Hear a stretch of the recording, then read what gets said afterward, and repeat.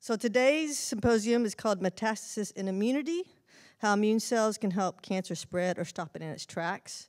And before we get to the uh, program, I just wanted to mention that this is a public lecture that's been going on for 15 years now. And it's a partnership with Cold Spring Harbor and St. Johnland Nursing Center with support from Northwell Health. And I want to thank um, to the, uh, the team at the Cold Spring Harbor Public Affairs that puts this symposium together, particularly Jessica Giordano, who is here. Thank you, Jess. And also to St. John's, particularly Kathy Wardell, who's somewhere. Thank you, Kathy. Uh, and also to our great AV team that helps put this on in this great auditorium, and our uh, Harbor facilities crew that help make these events go so smoothly. Uh, so tonight we have two fantastic women scientists as speakers. Um, the first will be Mikala Egeblad. So she's an associate professor at Cold Spring Harbor since 2009. And her research, which you'll hear about today, has been recognized by several awards, including the Pershing Square Sohn Prize and the Era of Hope Scholar Award from the Department of Defense. And joining her will be Sylvia Adams, who's an associate professor at NYU, and she's the director of clinical research and breast cancer disease management group. She's a medical oncologist specializing in caring for patients with breast cancer, and she also conducts research, including clinical trials involving treatment of breast cancer. Mikala and Sylvia are actually collaborators. They work together on a project, um, which is very exciting. Um, we'll hear a little bit more about that tonight. And so the format tonight will be Mikala will start with around a 20 minute talk or so, and there you'll have opportunity to ask her some questions right after her talk.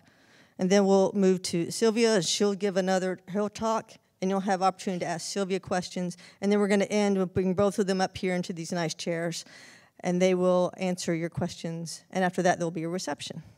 So that's the uh, format for the program, and we'll start now with Mikala. So I'm going to talk about uh, immune cells that help cancer spread, and particularly one type of immune cells called neutrophils. And what you're seeing here on this very first slide is uh, actually strings of DNA in blue.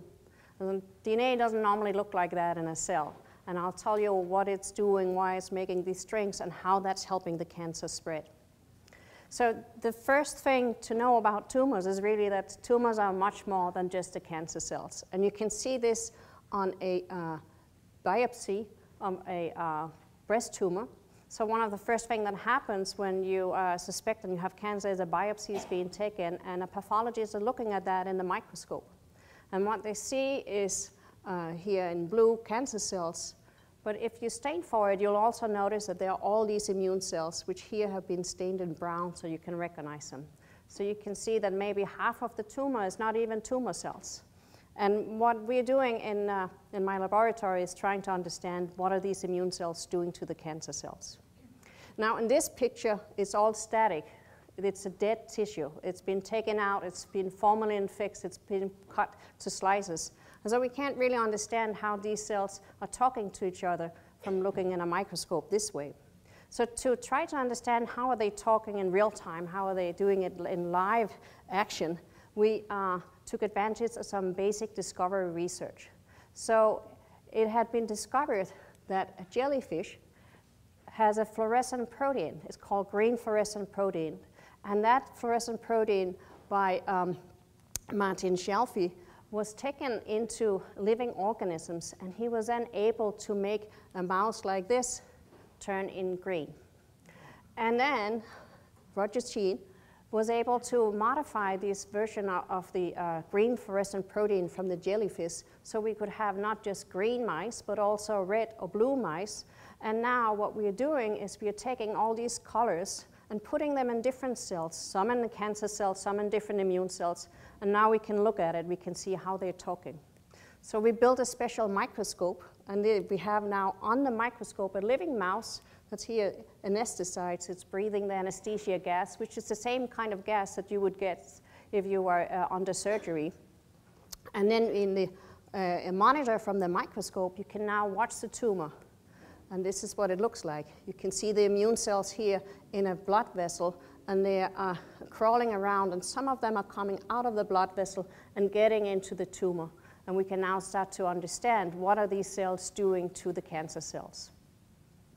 So the first thing we were interested in trying to, to learn was what happens when you give a, a mouse or a patient chemotherapy. This is one of the most classical types of treatment that are given to patients. So what actually happens if we look in the microscope while we're giving the treatment? And to do this, uh, we were watching the mice for a very long time. Um, this is a movie that's been going on for 29 hours after we gave the chemo. And you can start to see here in red that a lot of the cancer cells have been killed. So we did a trick that they switch color from blue to red when they are dying. But uh, I remember taking that movie. That was one of the last movies that I took before I got my own lab. And I had been uh, in the room for 29 hours, as you can imagine. I was dozing off, to be honest. And then I saw this happening. And you can see in green these immune cells, type of immune cells called inflammatory cells, coming into the tumor. So it's almost like an ant swarm. They're coming in in very high numbers. And this was 4 a.m. in the morning, and I remember thinking, this is very strange. I wonder what it means. So these kind of, uh, of uh, inflammatory immune cells that we were looking at are the type of immune cells that are helping us killing bacteria. So here is a movie where we, instead of using cancer cells, have used red bacteria.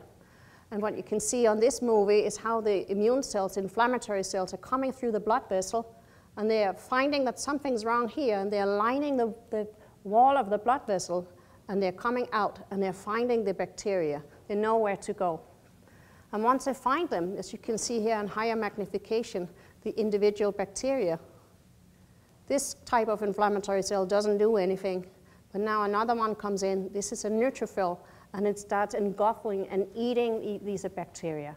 So these are really very important immune cells for us in terms of um, combating an infection. But inflammatory cells also do other things than just killing bacteria. They are very critical for what's known as wound healing. In the wound healing process, the first thing that happens is, again, uh, that uh, the inflammatory cells come in and they kill the bacteria. But then they start the process of repairing the wound.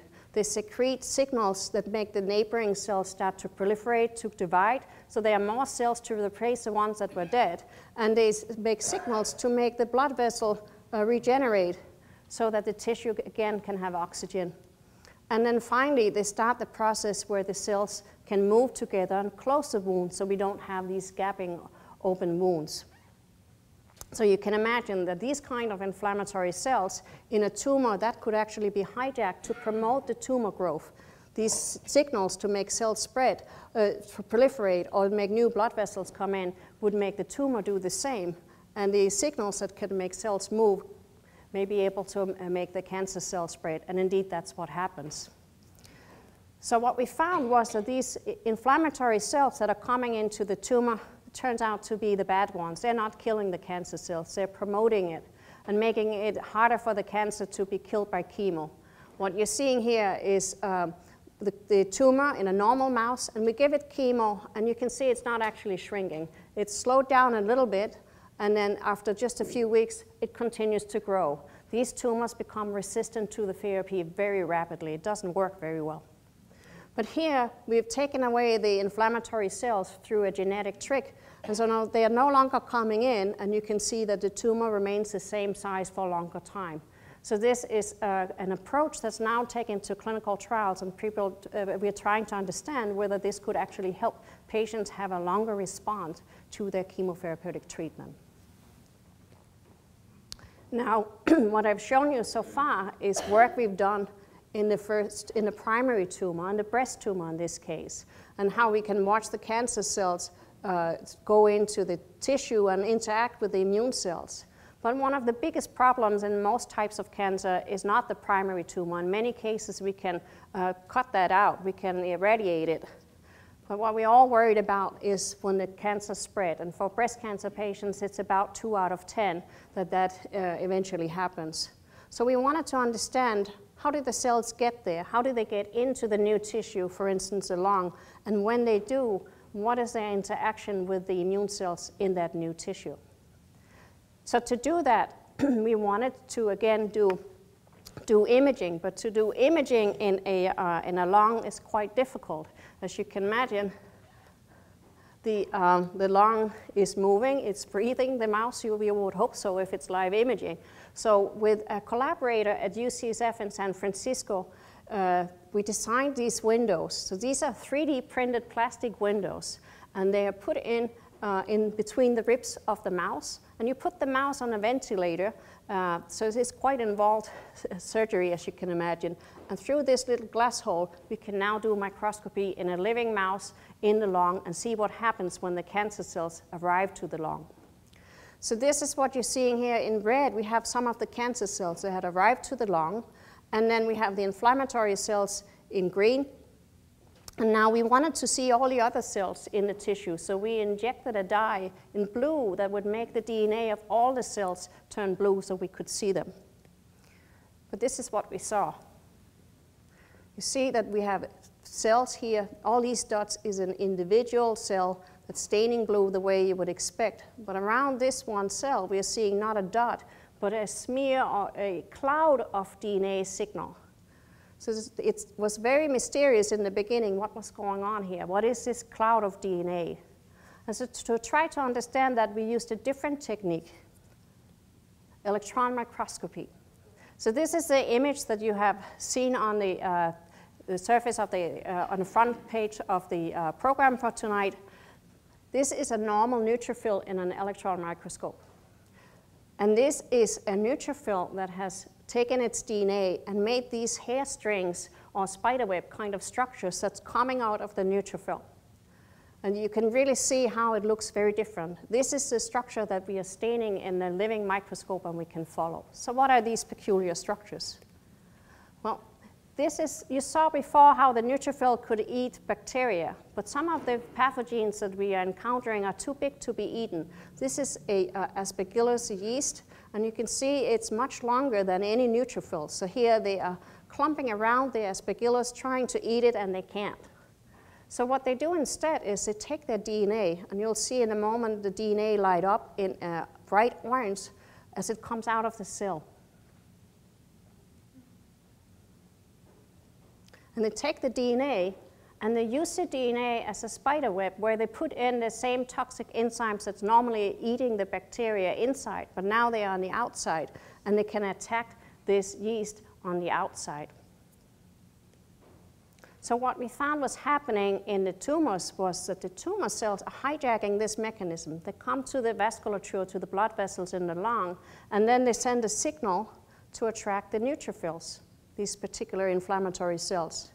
And then they give them a second signal, a signal that tricks these cells to think that there's a bacteria or yeast, so that they form these extracellular traps, neutrophil extracellular traps. And they have in them the enzymes. And these uh, enzymes, these proteins, make small holes that makes it possible for the cancer cells to get into the tissue and start to sit there.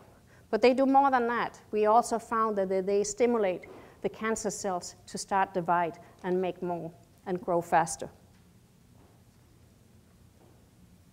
So this was, of course, discovered not in cancer originally, but in inflammatory diseases. People were trying to understand how are neutrophils combating a different bacteria, a different yeast.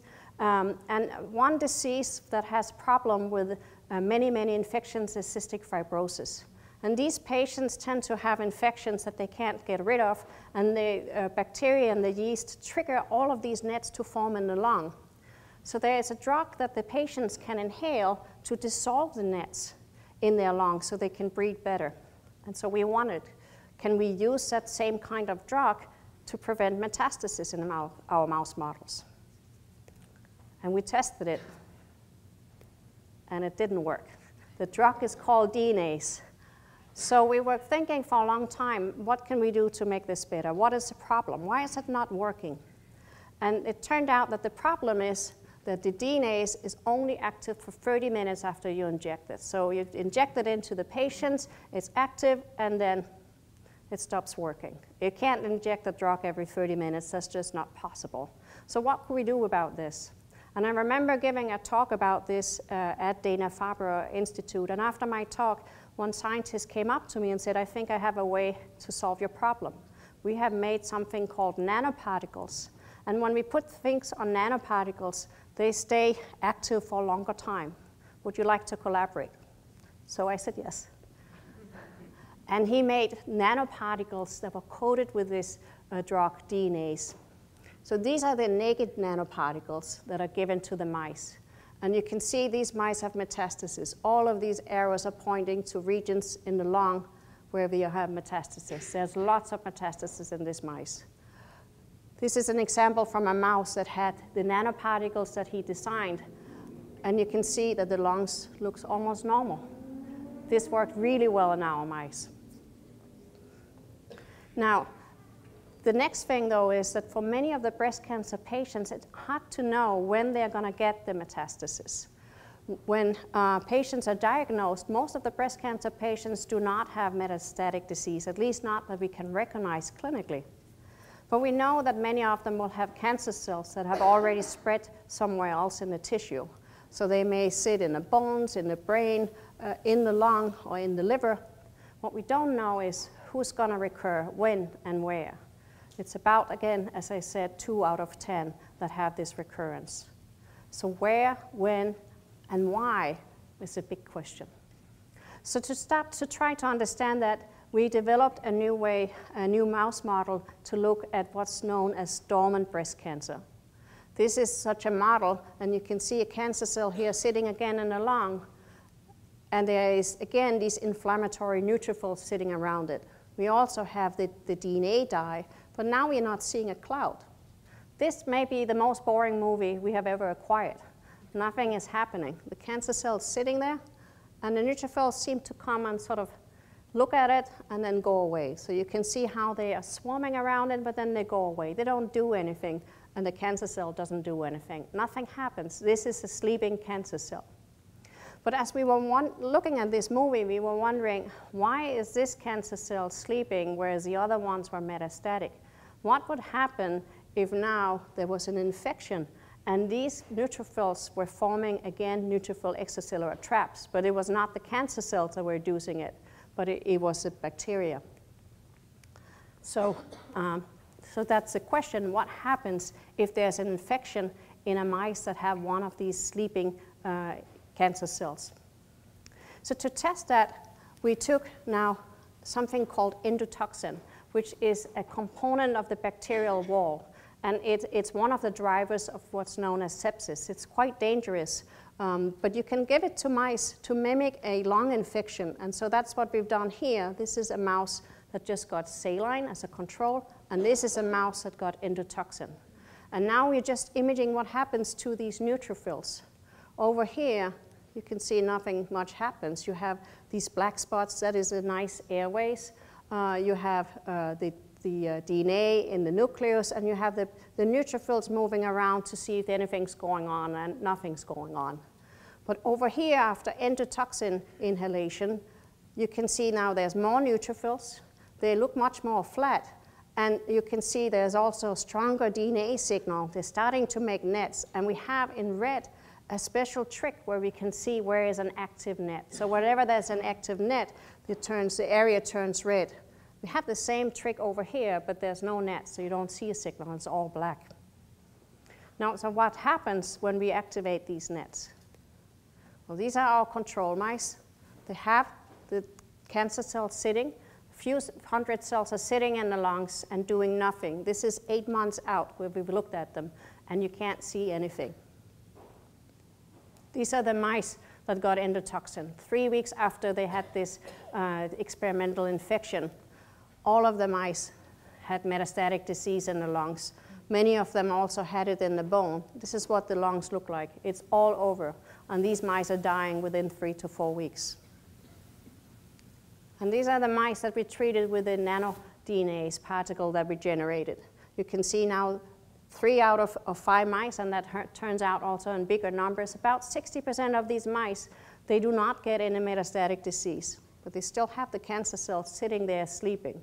And those that do get it, it's growing much slower. So we're very excited about these results. Um, we're thinking about how can we um, how can we apply that to the clinical situation. So some of you may think, well, what's is this only in breast cancer cells? And uh, we've already tested it in prostate cancer and pancreatic cancer models in mice. And there it's the same thing.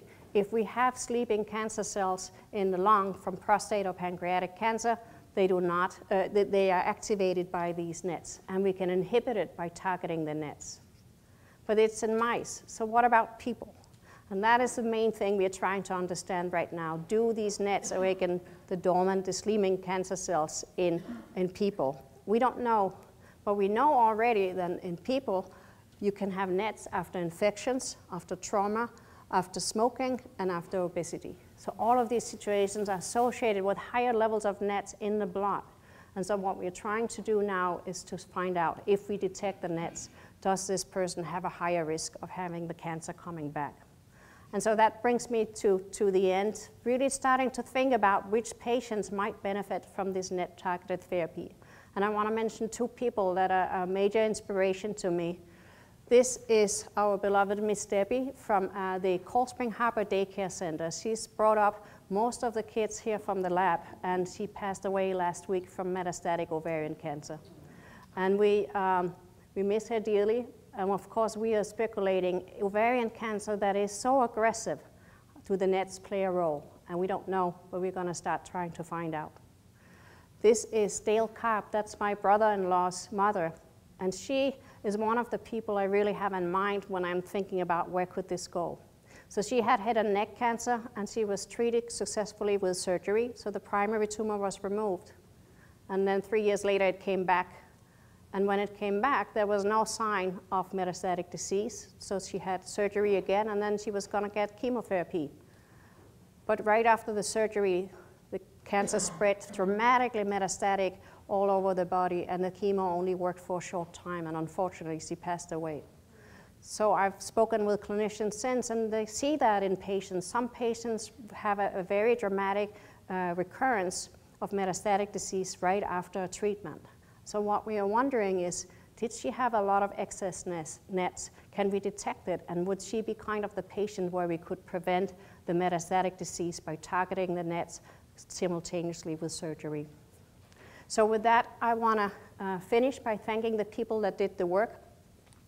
A lot of the work you've seen today is done by Jean Albrengues, a postdoc in my lab, with the help of many people in my lab, including David, Mario, Li Zhuang, Emilis, and Laura. Uh, I also want to acknowledge all of my collaborators. So uh, at Cold Spring Harbor, uh, I had very many collaborators help us really develop this and test it in uh, many different models, including uh, Johannes Yeh that's helped us uh, generate a way of targeting these nets, and, um, and Doug Fearon and Lloyd Trotman that helped us test it in prostate and pancreatic cancer. Outside of, of uh, Cold Spring Harbor, we have many collaborators helping us to move this forward. Uh, Max Krummel, as I mentioned, is the one that's really helping us uh, being able to image in the lung. It is really as hard as you might think. And uh, then we are studying um, these nets in humans uh, and in different types of inflammatory diseases with Ken Pinkerton and Scott and Jill Hamilton Rees. Uh, Michael Goldberg is the collaborator at Dana-Farber that generated these nanoparticles, and Sylvia Adams you're going to hear from in just a moment. And so with that, I want to thank you for your attention, and I'll be happy to take questions. Thank you.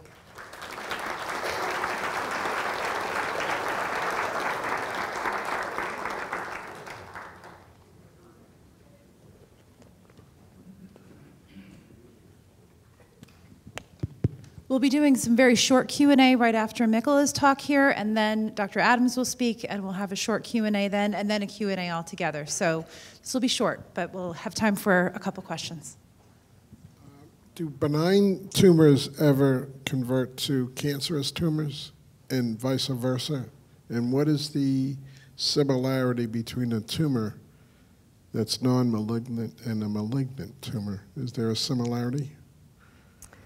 Oh, that, that's a very fundamental question. So uh, yes, benign tumors sometimes do convert um, they, if they acquire additional mutations.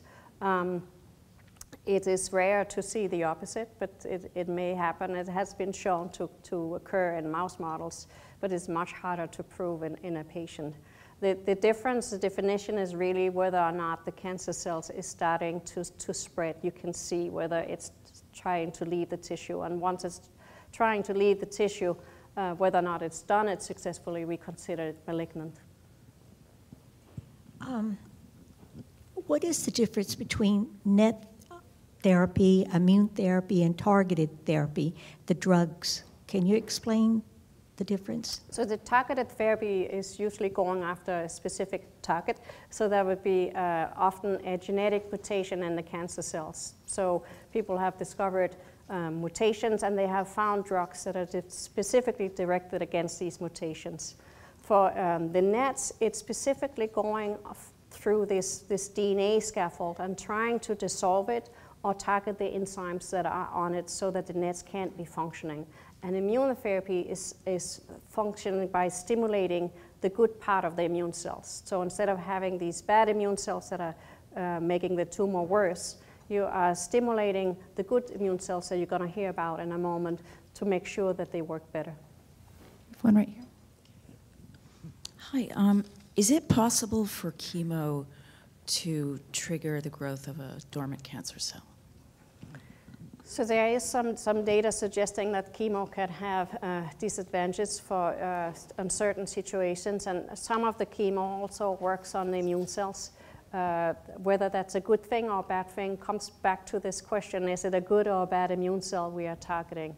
Uh, I think although chemo is one of our oldest types of drugs, we don't fully understand how it works um, beyond just the cancer cells, how does it work on the uh, organismal level in, in the whole body view? And uh, that's one of the things we certainly are trying to, to understand better. Hi. Is there a risk for DNase to attack regular DNA in other cells besides neutrophils? So we all make DNase already. Uh, it's, uh, we have our own DNase uh, that is targeting some of these floating uh, nets even. And, and it's, uh, when we look at the, the, um, the presence of nets that are spontaneously forming, they're not very long-lived because of our own DNase. Um, with the nanoparticles, we are hoping that it doesn't get into the cell, but, but you're right, there is always safety concerns, and, and the best way to do that is, is to, uh, to do the more animal experiment, more carefully targeting the safety of that, and uh, just finding out the safety of that, and then ultimately um, dose escalating in, in patients. All right, we'll move on to Dr. Adams. Thank you, Nicola. Great. Thank you. I always like hearing. Um, Mikla always tells a great story with great movies, um, and so Mikla's research is a good example of the type of, of the power of uh, how basic research can inform uh, clinical research. And now we're going to hear a story from Sylvia Adams about her research uh, and doing clinical trials in breast cancer. So, Dr. Adams. Thank you.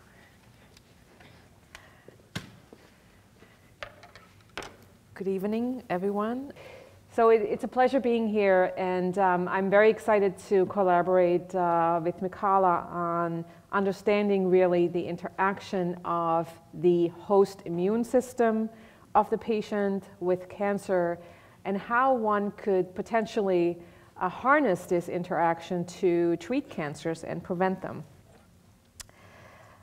So the topics that I would like to cover uh, initially, I would like to give you an overview of the tumor microenvironment um, and, and show you the different players uh, on the field that can be promoting cancer growth or actually inhibiting cancer growth. And then I will uh, focus on two cell types. One is macrophages that actually can also, similar to the neutrophils that we just heard about, enable invasion into blood vessels and metastases. And uh, they play an important role uh, that we have identified already in breast cancer as a prognostic biomarker. And from our last weekend's uh, large clinical oncology meeting in Chicago that you probably heard about, um, there will be, uh, there was an, a plenary session on the TAILORx clinical trial, which I will briefly mention to you, because macrophages are actually part of that assay and how it affects our knowledge about cancer prognosis, but also how it guides us in terms of what therapies to use for the patient. And the second focus will be on lymphocytes. These are uh, our killer cells that can actually effectively kill cancer cells uh, and how they are important for prognosis for patients, and also how we can um, harness them and make them stronger in our uh, treatment uh, programs. So Mikala actually already showed you the uh, slide looking at a cancer under the microscope. And um, until you know several years ago, our pathologists, when they did look at the cancer, they just saw this is the the very um, uh, very comprehensive tumor microenvironment, but they mainly looked at the cancer cells in here, and they gave us on the pathology report uh, information about how those cells look, how they are differentiated, what receptors they express, um, and they really didn't talk about much about what is in the stroma. So the stroma is basically all the supporting um, substance. They only gave us at this time if there's any cell death, um, how deeply the tumor invaded, and if there is also invasion of cancers into the blood vessels. However, the significant part of the stroma is actually that it can help either cancer growth or it can help to stop cancer growth. And these are just a few of those components that we know to date. Uh, they are inflammatory cells, all these um, uh, floating um, cells in the circulation, um, some of which can either promote metastases, as we will talk about, and some of which can actually help fight cancer. So, so there is a very uh, heterogeneous infiltrate in tumor cells that can be um, harnessed for, for our therapies. And this was just a very early uh, paper showing that if you look at that stromal infiltrate by gene expression analysis, and you look at good stromal cells, which we call here cluster set one, that patients who had this cluster uh, did very well. They lived um, without cancer recurrences, but patients who had in their tumors immune cells that were belonging to this inflammatory subtype that actually had significant progression, recurrence of disease, and had um, death. So this was one of the uh, initial papers to tell us that it's important to look at the stroma, not just at the cancer cells, because cancer cells would be similar in, in these patients. So let's talk about the macrophages. And um, this is a busy slide, but I guess if you can look at this um, uh, black window, you see three types of cells, very similar to what you saw on the prior talk. The cancer is growing here, and cancer cells are in red. The blood vessel is in blue, lined with endothelial cells, and macrophages, very similar to the neutrophils, are also in this complex. And we call this the TMEM complex. Um, and what happens is if you have a macrophage very close to the primary cancer, it can help invade cancer cells into the bloodstream and lead to metastases. And in a clinical study, this shows again survival of patients is affected by, by the likelihood of metastases. But most importantly, I want to bring your attention to the oncotypes, Oncotype DX assay, which is the one that was presented at ASCO last week. And that includes one gene that actually means macrophages. So these are all the genes in green that are uh, contained in this uh, panel. And this is basically after a woman undergoes surgery for breast cancer. We use the tissue not only to look at the differentiation grade, receptors, et cetera, but also to send this tissue for a special molecular test called the Oncotype DX21 gene assay. So 16 genes are cancer genes, and then there is five housekeeping genes um, or reference genes. And one of those uh, cancer genes is called CD for cluster of differentiation 68, and that is a macrophage marker. So the, the company that established this assay then put all these genes together and came up with a formula that culminates in a recurrence score.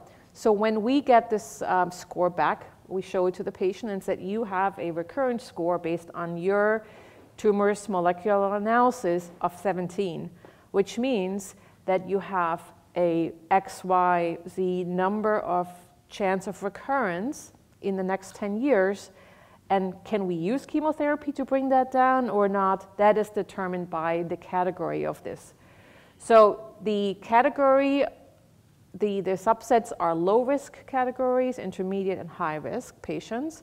And when you're in the low risk category, that means your chance of recurrence is very small. and you just need hormone therapy if this is a hormone positive tumor. In the high risk group, you know that chemotherapy, in addition to hormone therapy, is important. But in the, intermediate risk, we did not have an answer from a large clinical trial until basically one week ago. So in this trial, this was uh, uh, you know, a large plenary session uh, discussion, and this was also in the news afterwards. Do women need chemotherapy? And we're very happy to say that this assay and the results in this intermediate group spare women from chemotherapy that we often give after surgery. So this is, was Dr. Sparano's uh, presentation, and uh, it looked at a trial called TAILORx. So we wanted to tailor the therapy to the patient and her tumor based on the 21 gene assay.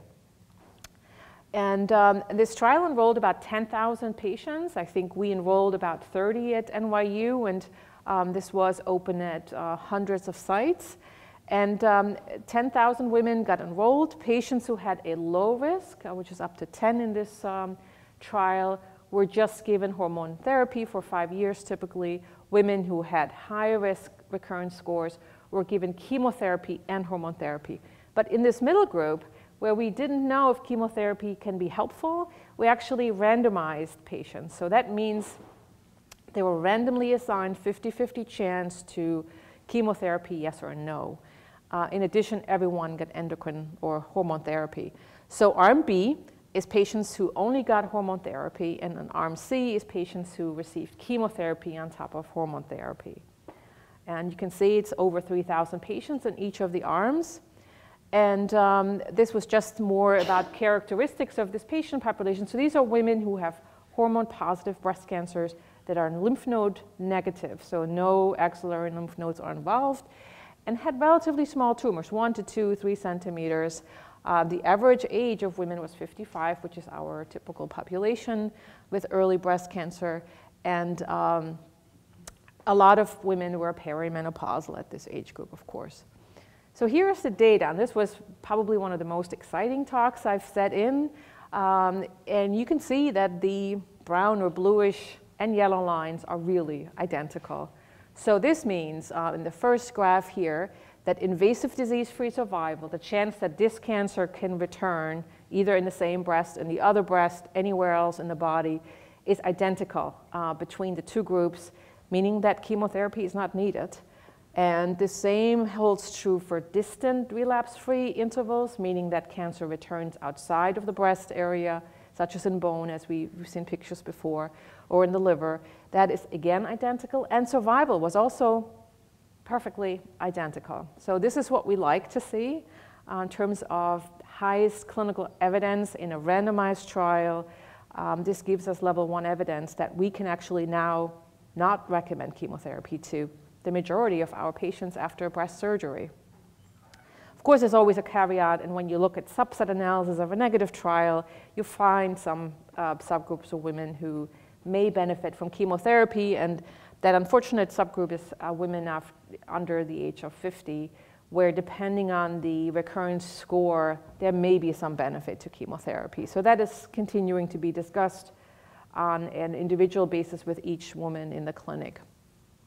So this was the interesting thought about macrophages, how they promote distant metastases, and if we actually, with chemotherapy, can bring the patient back and have um, higher cure rates. So this speaks to the, to the part of tumor promotion that you can see metastases here um, coming through the help of macrophages. And I hope I have neutrophils on here too. Mikala, forgive me if I don't. Um, so now let's talk about the second um, alternative is when CD8 cells or killer T cells, lymphocytes, can actually kill tumor cells and therefore um, inhibit the growth of cancers. This is our second um, topic. And similar to what uh, the prior speaker had discussed, sometimes you see more immune cells in a cancer than cancer cells. And this is a perfect example, and we call this example actually lymphocyte predominant breast cancer because you have more lymphocytes here than cancer cells. And here, those, those um, uh, bluish areas are cancer cells, cancer cell nests, I would call them, but surrounded, these are all lymphocytes. All these small um, black tumor uh, cells are, are, lymphocytes. So they are there to trying to kill the cancer. However, cancers grow despite that, so there must be a reason for it. And I will tell you later about PD-1 and its pathway in, in a way that cancers shield the attack from those killer cells. But first, how do they, um, do they matter, these lymphocytes in the tumor?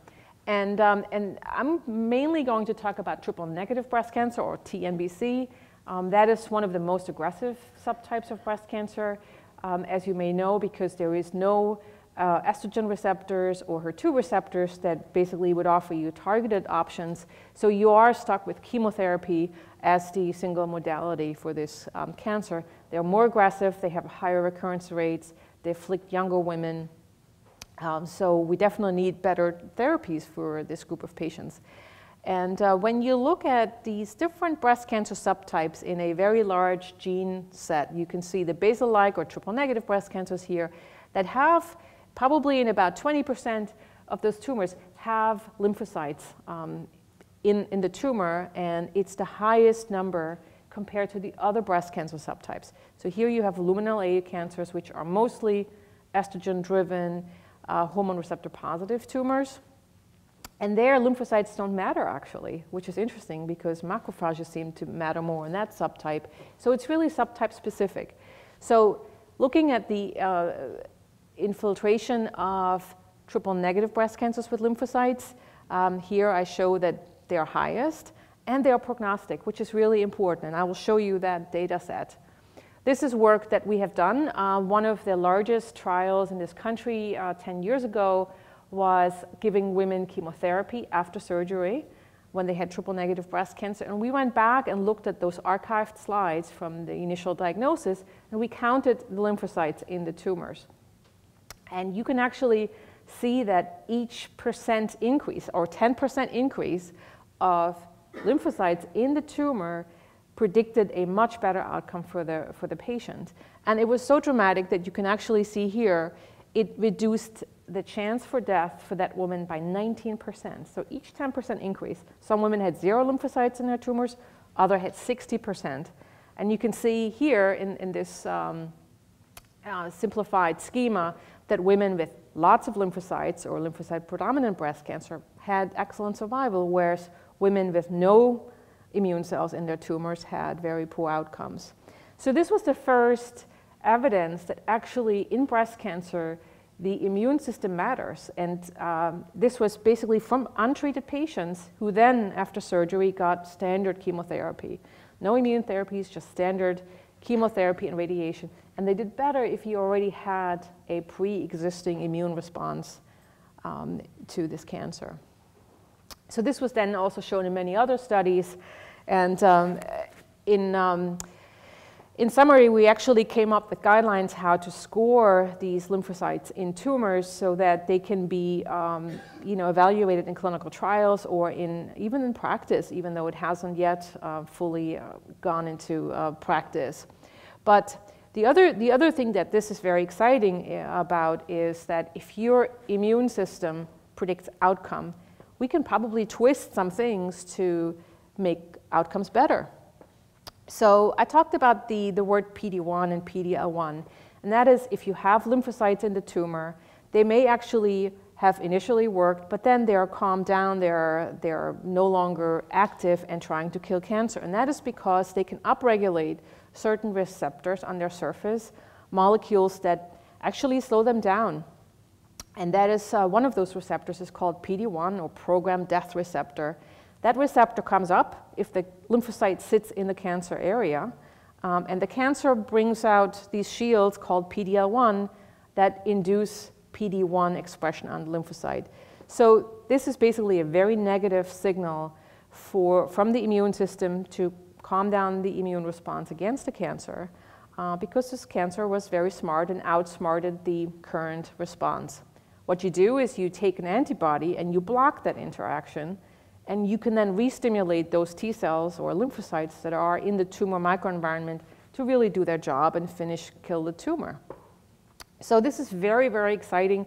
And based on our initial discoveries that breast cancers are immunogenic, or at least in triple negative breast cancer they are, um, companies that had these compounds were interested in studying them in breast cancer.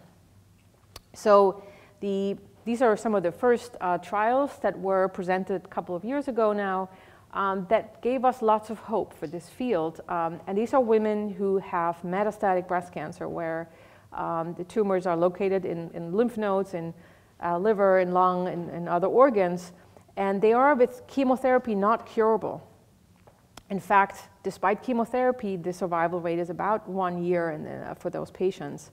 So in this treatment, um, in these treatment trials, what we saw is that the tumor volume, and this is like zero where you start out with the baseline volume of the tumor when you enter a clinical trial, um, was in many patients actually decreasing just with this hormone, uh, with this uh, immune therapy that blocked that shield between the T cell and the cancer cell.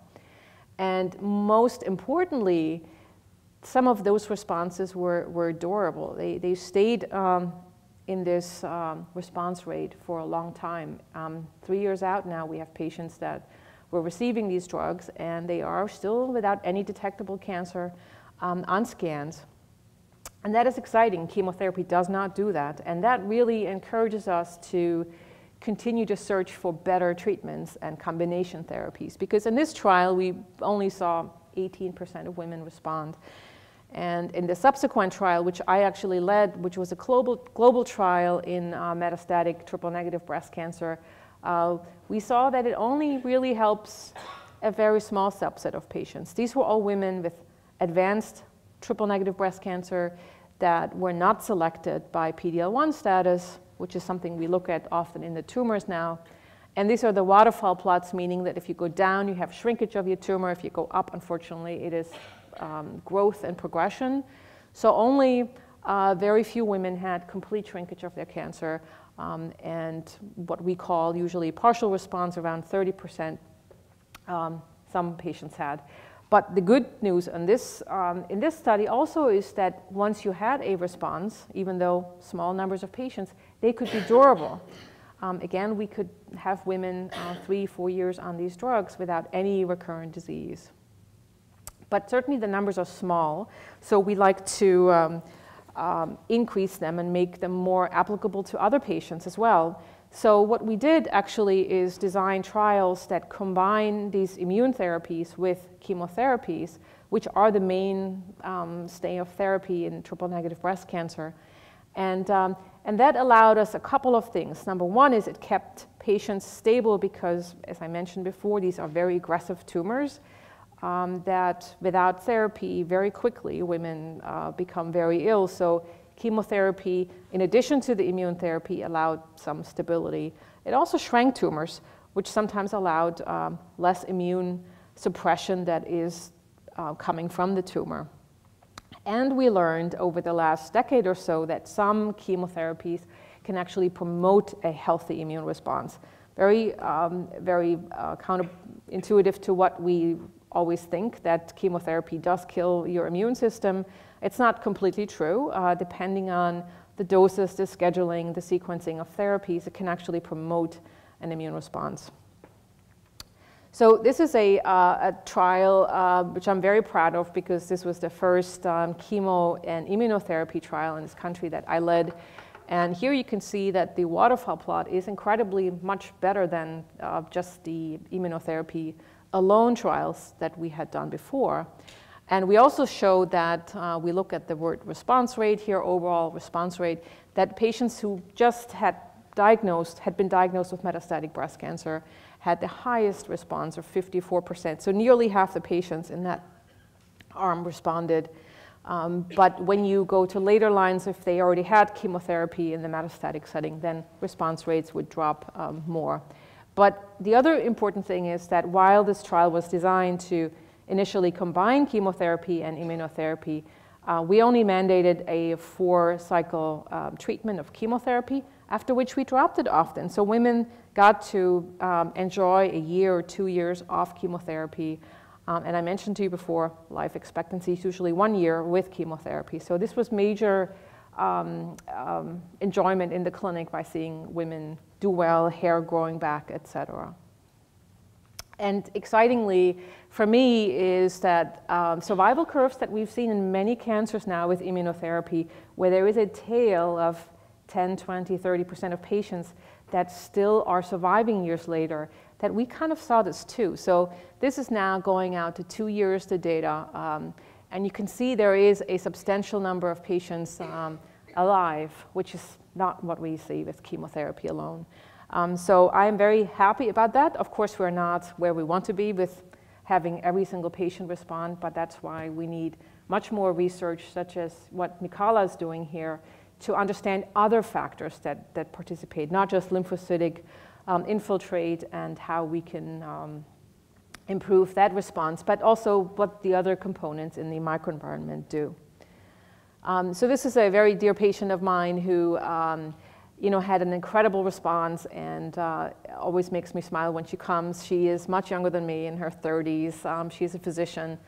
And um, she came to us. She was referred for the clinical trial that we had at NYU at the time, um, several years back from Memorial. And she, when she came to us, she had um, disease. This is, you know, a body PET CT, and these are lymph node uh, metastases, and these are lung, um, lung metastases. And um, she had interesting findings on her scan because after the first two treatments on her scan, the lung uh, lesions all went away, but then she developed new lymph node lesions in her chest wall. And uh, when we see this on chemotherapy, we say we have to stop chemotherapy immediately. But in immunotherapy, where you can actually have an immune response, inflammation, and, and, and so on, you may see new tumors pop up that are not um, worrisome, and you actually continue therapy. So we luckily did for her, and after two more cycles, all of that disappeared. We were able to drop her chemotherapy, which is a taxane, which can cause over uh, many months neuropathy um, or you know numbness uh, fingertips. And she is a pediatric intensivist, where she actually needs her fingertips to put IVs into babies. So uh, we dropped the chemotherapy, and she's been since. Uh, completely without any evidence of disease. And she doesn't even count on the, on the plot of, uh, of tumors that go down because of this new finding on the second scan. So officially, she is a progressive disease patient, but she really had um, tremendous benefit from, from therapy. Um, and, and so this trial that I explained to you, which was the first chemotherapy immunotherapy trial, gave rise to the largest um, trial uh, done in this country now, which is hopefully going to get results either this year or next year that um, is a trial looking at survival outcomes in women that um, have newly diagnosed metastatic disease that is triple negative. And uh, that trial has completed enrollment um, in, um, in the world, actually, was mostly done uh, outside the US. Uh, these are some examples of combination therapies that are now not just in a metastatic setting, but also in earlier breast cancer settings. So the, the one you may have heard about last year was called the I-SPY 2 trial, where immunotherapy was added to chemotherapy before surgery.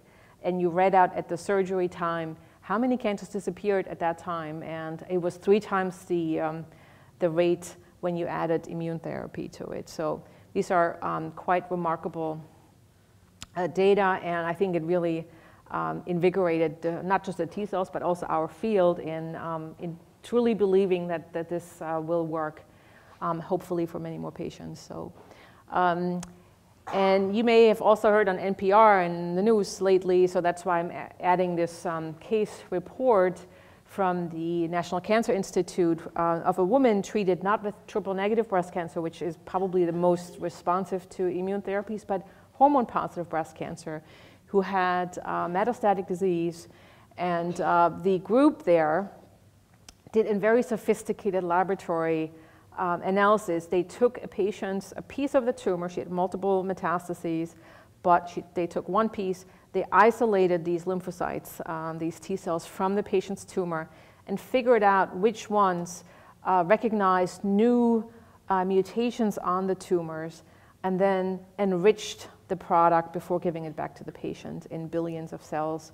Um, so basically, they, um, they picked out the good killer cells, they um, enriched them and then infused them back into the patient with a complete clinical response. And that was the, um, the picture. This is a, a, CT scan, so you have the sagittal view where, um, sorry, the coronal view where you have, uh, these are the reconstructed breasts here, but there's a large soft tissue mass close to the heart here that is gone after therapy. And this is the, the liver here with multiple metastases in the liver. They're all gone with therapy. But to say um, that this was just this reinfusion of lymphocytes is, is incorrect because the patient got lots of other therapy. So she got before the uh, infusion of TILs, we call them tumor infiltrating lymphocytes. She also got chemotherapy to kind of um, kill down many other immune cells she had, and then she got this boost of um, tumor reactive lymphocytes, followed by PD-1 drugs, uh, which I mentioned to you before. So this was a um, you know, a celebrated uh, victory because it has shown hormone positive breast cancer patients can respond um, similar to other cancers. And, um, you know, just because I had to promote my own work, um, I wanted to show that we published actually years ago a patient who had a fantastic response to immunotherapy. Um, and um, I apologize if, if um, for the pictures, but this was really a uh, very impressive uh, breast cancer. This was a woman who came in uh, with already widely metastatic disease. She had calcium that was uh, leaching out of bones because of bone involvement. Um, she had destruction of, um, of bones in the uh, sternum, uh, involvement of the lung, et cetera. And we gave her chemotherapy with um, Avastin, which was approved at the time. And then um, later on added imiquimod, which is a um, topical immune stimulant, um, to her breast uh, which is kind of supposed to jumpstart the immune response against the tumor that is still in the patient. Um, and later on, she got hormone therapy, and she really cleared everything. There was no more cancer left on any scans, and many years later, she was um, cancer free. And we were able to actually go back, um, draw blood from her later, two years later, and then compare it. And we showed that just a simple application of uh, topical immunostimulators onto the tumor could initiate an immune response against cancer that then was just amplified through regular standard therapies.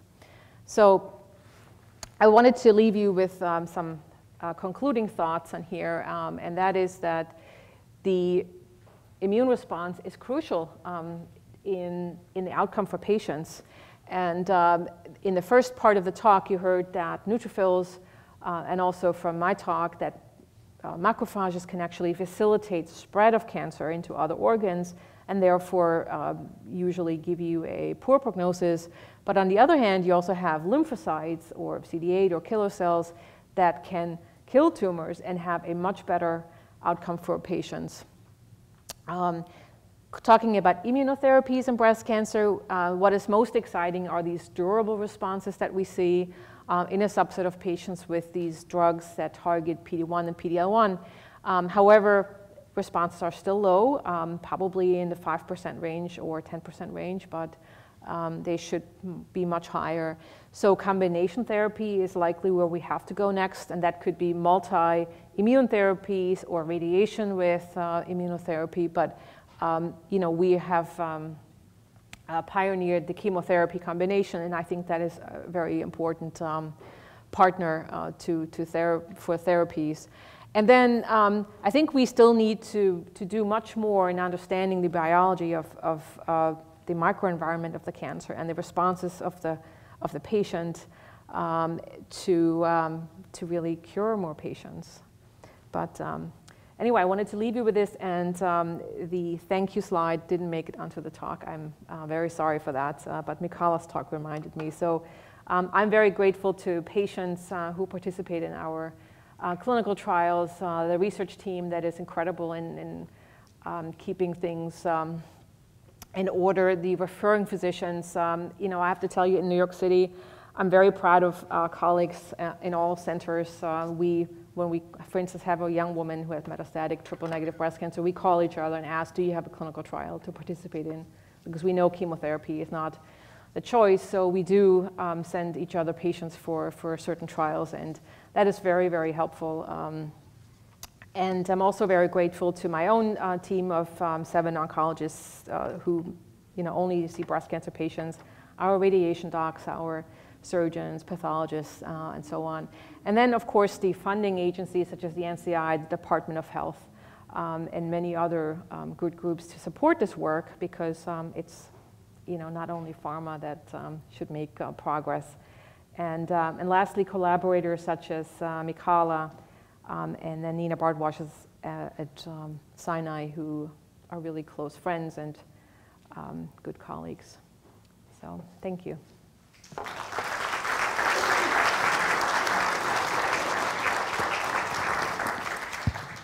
We have time for a couple of questions first for Dr. Adams, and then we'll do a general Q&A with both Dr. Adams and Dr. Egeblad.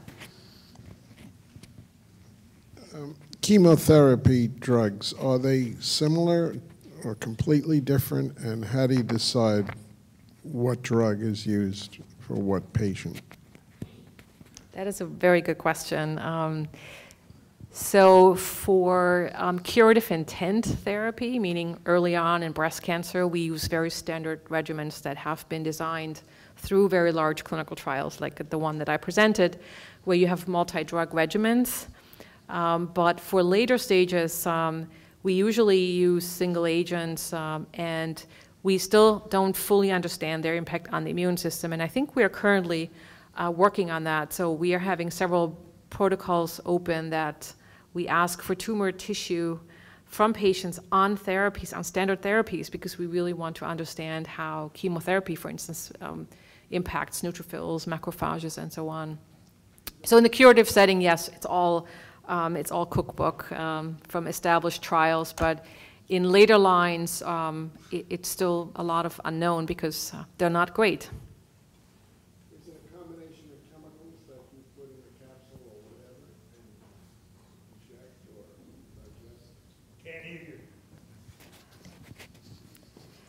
So, so most of the drugs were actually um, discovered many years ago, decades ago. Uh, they have a mechanism of action such as just um, adhering to enzymes in, in, in, cells that inhibit the repair of these cancer cells when they have um, um any insult to them. Some others have just uh, blocking uh, reproduction of cancer cells by, by adding uh, particles to their DNA.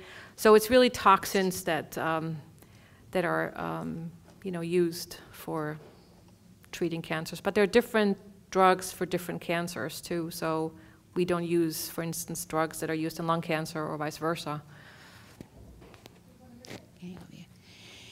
If someone was being diagnosed as metastatic tomorrow, what would you advise them to do?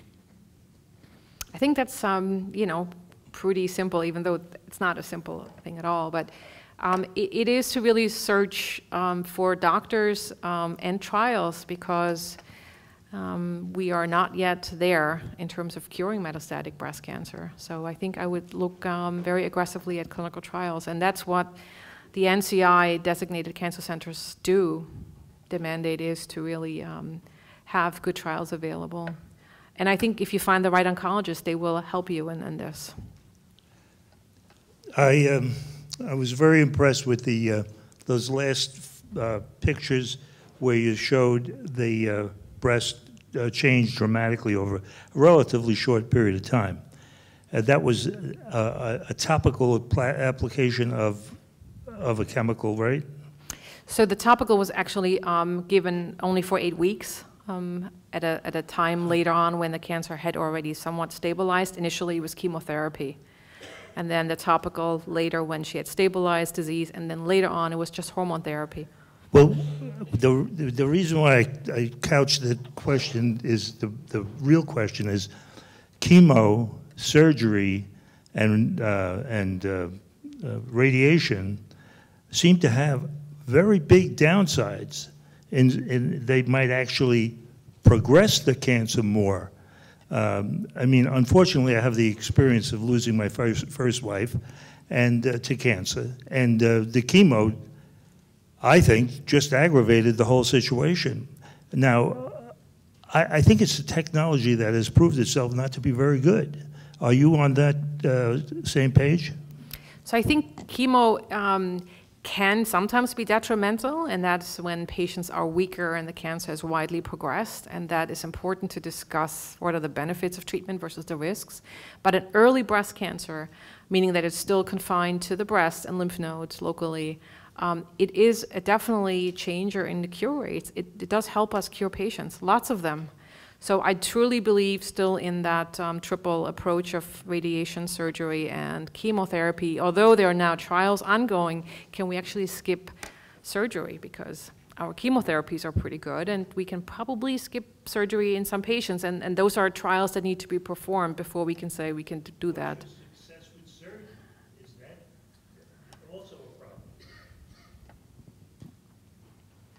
I don't know how to answer that question. What's my success with surgery in, in early breast cancer?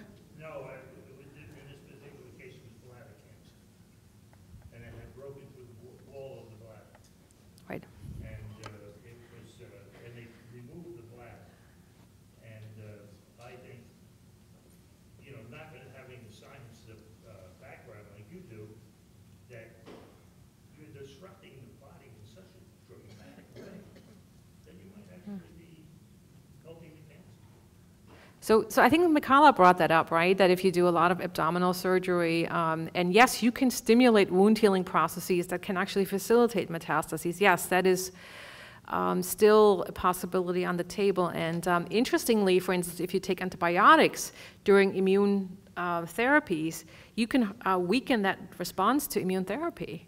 So it, it's because the gut bacteria that are being killed by antibiotics for the flu or for, for any kind of infection um, or antivirals um, can actually make your own immune system less susceptible to, to these therapies. So yes, much more to understand. I think for muscle invasive bladder cancer, um, the standard is first chemotherapy. And now we are curing lots of those patients actually with uh, immune therapy too.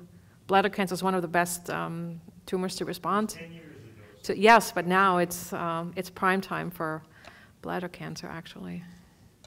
I'd like to invite both of our speakers up to the chairs up here. We'll do a general Q&A for both of them. Can leave that there. And can you guys pass back and forth?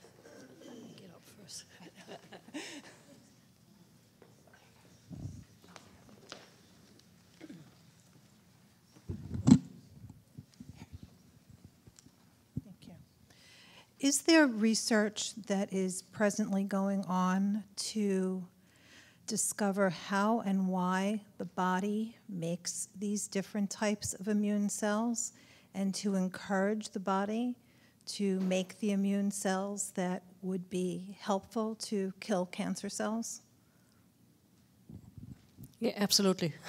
that, that's, uh, there are many of us that are studying um, what are the normal stimuli that are inducing the different types of immune cells and how to boost them. So that's a very active field of research.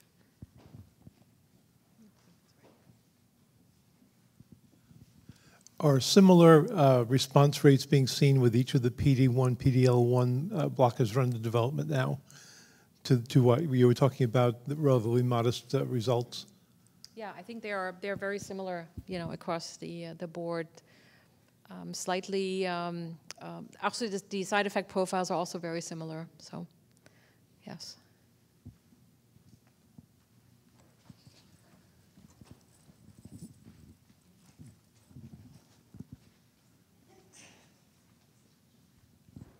Hi. Hi. Um.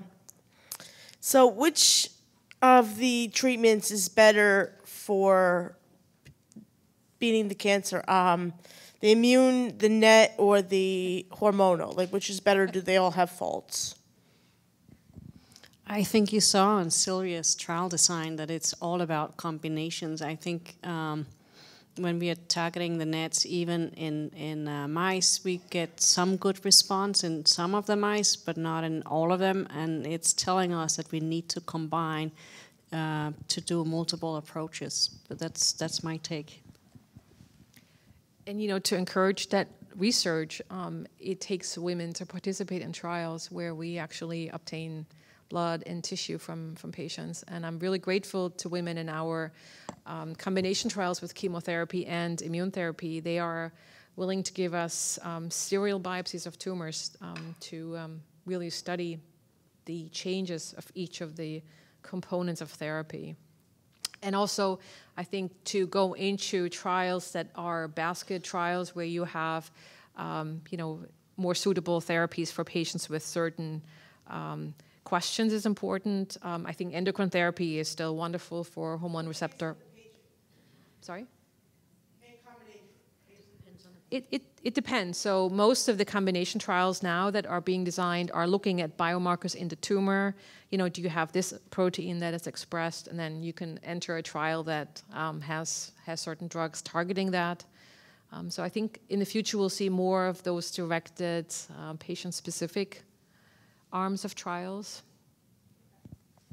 And maybe I can add to, to the NETs. It's not all uh, all types of breast cancer or cancer that we are seeing the NETs in. Uh, it may not be all patients that have infection, all types of infections that cause these NETs, and so that's why we're focusing on developing assays so we can see whether or not there are any NETs. So it's it's the combinations and finding whether or not this particular target is present in the individual patient. Hi, my name is Kevin, and um, my question is, in recent literature, a high-fat diet has been shown to affect gut microbiome and promote angiogenesis and tumorigenesis in an array of cancers, from breast to prostate to cancer, uh, prostate cancer to colon. Uh, and with the trials of cancer, the last thing you want to do is go on a diet. But do you think that reducing the fat intake in cancer patients could reduce angiogenesis and then inhibit immune cell access to tumor cells, and thereby significantly reduce the impact of TEMs on the eff effectivity of chemotherapeutic agents? So I think that the um, high-fat diet is is doing things both to um, to the gut bacteria as well as to different immune cells. Um, so it's, it's, a pretty complex question at this point. What what is going on on the different immune cells? Um, but there is strong evidence that things are going on, including on the neutrophils. So this is a very active research area. And I actually want to mention also um, that trials are now being designed that look at um, fecal transfers. Um, so stool of some patients who have great responses to these therapies given to patients who didn't have responses to therapies, who may then actually develop responses. That's been shown in mouse models to work really well.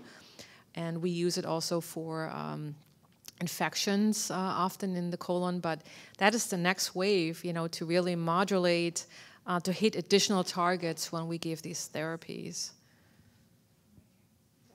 Hi.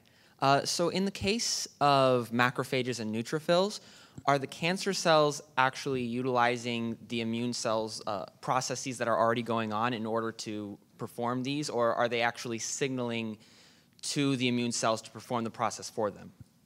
I, I think it's a bit of both, but uh, we are starting to know a lot about the signals that the cancer cells are using. So in in the case of uh, our work, we've seen cancer cells send out the same kind of signals that would be sent out if there was an infection to attract the macrophages and the neutrophils. But they're also sending out signals to to flip the switches on these cells. Both macrophages and neutrophils actually can be killer cells, uh, but the, the tumor cells send out the signals so that they are not.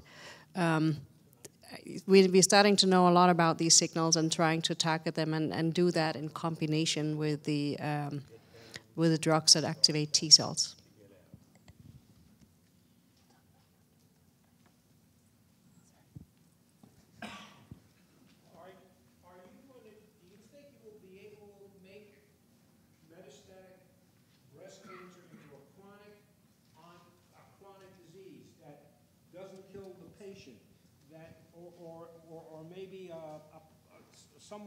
Permanent remission?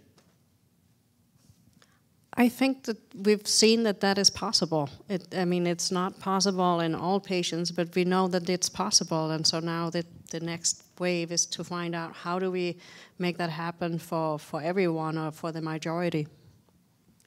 And I think the discoveries in the last couple of years for hormone positive breast cancers have been quite practice changing. So um, there are new drugs, and you probably see those on TV all the time. They're targeting certain um, uh, points in the cell cycle, and they're called CDK inhibitors. And you probably saw Ibrance and, and all these other uh, drugs on, on TV. And when we add those to regular endocrine or hormone therapies for patients who have metastatic breast cancer, they, um, they have no cancer worsening for up to three years. In their first treatment line, and we used to um, know that the hormone therapy alone probably kept them well for one year. And then we had to switch to the second um, regimen. But now we can add it to the first one, and it's from one to three years. Same with targeted therapies for metastatic breast cancer. The addition of uh, pertuzumab added um, life expectancy from four to five years now in HER2 uh, breast cancer in metastatic. So I think we are making actually lots of progress. I hope that the immune therapy will uh, will be part of it, especially for triple negative breast cancer, because we haven't made any progress there over the last few decades, and that's where we really need um, need a booster. But I think for most um, patients, that's true. Um, they are chronic illnesses. Hi, good evening. Um, actually, I have two questions. I'll throw them out there quick and see if, what happens. Um, what work, if any, have you been doing in the area of controlling inflammation or curing that? Um, and I know mo most of this is directed to breast cancer, which I'm personally thankful to you for, but for prostate cancer, is there any relevance of immunotherapy uh, after a prostatectomy with a rising PSA?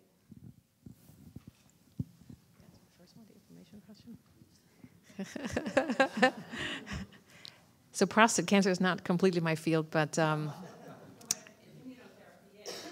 you know, in prostate cancer, it's lagged behind even worse than in breast cancer. But um, there are at least there is there is a vaccine approved in, in um, prostate cancer. It's called uh, Provenge, that extends survival for patients who have uh, metastatic disease. I think for the rising PSA question, that is still um, it's an unanswered question. But there are many new targets that are being tested in clinical trials. So again, I would encourage anyone you know to participate in trials. You know, I work very closely with my prostate um, colleague at NYU, who is bringing in very interesting trials that that may target certain um, checkpoint molecules. Um, yes, give me a second. I will, I will give you the David Wise, like the wise old man. He's very young. Um, and inflammation, you know, that's that's a that's a very hard one because inflammation is part of um, our living, and you can't remove all inflammation. It's helpful, wound healing, and many other things. Um, so there were many trials looking at COX inhibitors or aspirin to to you know try to inhibit it, but um, I, I haven't seen much success in this field yet. I, think that goes back to trying to understand what, what is really happening, right? Because inflammation has a lot of, of uh, benefits to us that we need it. So if we can find out which part of it it is that the tumor is hijacking, then uh, that may be a way to design new trials that can better target that. But it is true right now. There's we are lacking the real targets. What is it in inflammation that's bad? And we think that the NETs is part of that equation. This uh, this not be your specialty, but I've been asking this question for quite a while when I've come here. Cryogenics on a tumor. Now we know how frostbite works. It just destroys the skin or whatever, and there's no ill effects from it. it the, the what has been frozen, the cells just the body just absorbs them with no parallel bleeding or other things. And I'm I still don't know why it's not a trial when a tumor is obvious in the breast or any place else. They don't go in with a small tube or whatever and just freeze it in the areas around it. You have any thoughts on that? Yeah, I do. Um, so it's not an approved kind of method for breast cancer treatment because the downside to cryotherapy, uh, freezing the tumor, is that you never get to see the tissue. You never get to evaluate if the margins are clear, um, which is what we rely on often in recommending radiation and so on. But there are trials um, with combining actually cryotherapy with immunotherapy in breast cancer before their standard surgery. That, that trial has been done at Memorial. Um, and it's been published, and actually, the cryotherapy can induce an immune response to the cancer as well. So, but it's not yet mainstream. I think it, it will be you know, pursued in clinical research, but um, it has certainly some benefits to it.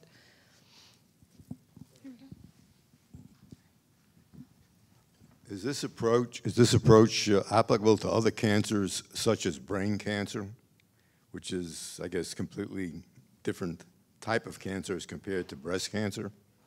You mean clinical uh, research with uh, the checkpoint drugs or immune therapy drugs? Uh, yeah, immune therapy with um, brain cancer, GBM in particular. Yeah, I think it's still lagging behind um, in that field, but there are vaccine studies in, in GBMs that uh, are somewhat promising. Um, also, a great colleague at NYU, Andrew Chi, is the head of that. I would ask for trials. Hi. So I was wondering about dormant cancer cells. Do they have certain processes that allow them to stay alive for long periods of time and not uh, potentially go through uh, apoptosis? I think that that's a great question. So, so there is um, a lot of active research in that field at the moment. Uh, there's some data suggesting that something called autophagy, um, a process where the cell is, is partly eating itself to sustain it, might be involved, but it's, it's not clear yet. Um, I think the autophagy is going to look promising in the end.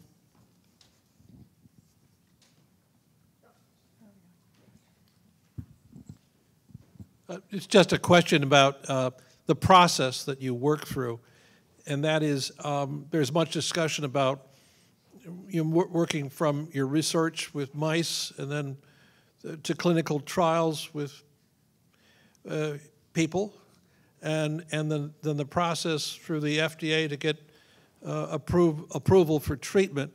Much discussion about what take does it take too long?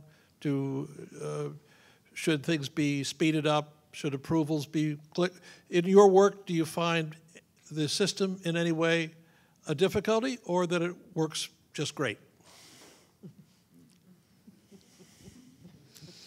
Uh, yes and no. um, I, I, think some of this is has to take time. So I think that the basic research must take the time where we, we really get the experiments right. Uh, otherwise, sometimes you, you design the clinical trials wrong. And so there's an example in my field where there were a group of um, of drugs called matrix metalloproteinase inhibitors, and they were um, studied in mice, but they were pushed to clinical trial. And, and, while the trials then came out showing negative results, the mouse experiments essentially showed that they were giving to the wrong kind of patients. Um, so I think that was an example of, of being pushed too fast. And then, of course, there's other examples where things go very slowly. I think that is often the case if you don't have the right collaborators, if you don't know what to do with your with your research in mice. Well, how do you take it to the next step? That has been, I think, challenging before, but I think that there's more and more of these collaborations that we are having now, where clinicians and um, and basic scientists are talking already as the research is developing and thinking about how can we take it to, to the clinic as fast as possible. There's many frustrations uh, running trials. The regulatory system is very um, rigid and uh, requires many steps. However, it does take time, as Mikala said, because you have to wait for survival data often, uh, not to be blinded by early responses in small trials. So you do have to really do um, the due diligence to, to make sure what gets really FDA approved is worth it. Um, but I also I think that um, in this country, clinical research is not yet as um, favorably viewed uh, because in children's cancers, for instance, when you look at the Children Oncology Group, which is the cooperative group uh, in this country, they enroll about 90% of all the children in clinical trials. 90%, and in adults, we have uh, maybe 3% of patients who go into trials. So uh, we're, it takes time to make progress, unfortunately. And it would be so much more um, helpful and um, faster if, if the majority of patients uh, join trials. But now there are certainly um, other efforts at, um, at mining data from standard practice use of drugs to see if across the United States, for those patients who don't enter trials, if the current therapy served them well or not, and finding outliers and especially good responders and see what, what they have received. So hopefully that will be the next wave with very um, intelligent systems to extract medical data to help us guide in the clinic a bit more what which patient should get what chemotherapy because right now it's based on just the risks benefits um, discussion with each woman. Please, please join me in thanking Dr. Egeblad and Dr. Adams. There is a coffee reception right outside in the lobby. Please enjoy. They'll be here too to continue to the discussion. Thank you.